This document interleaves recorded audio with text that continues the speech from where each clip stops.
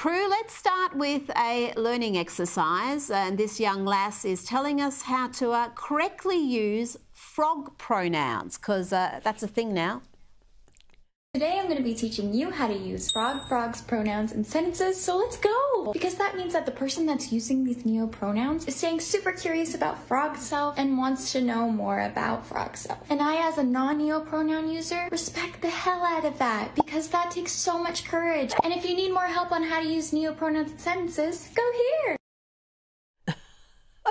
I hope you'll be checking the web for uh, how to correctly use neo pronouns. I mean, forget about 150. There, there's possibly now thousands of these well, identities that we also have to respect.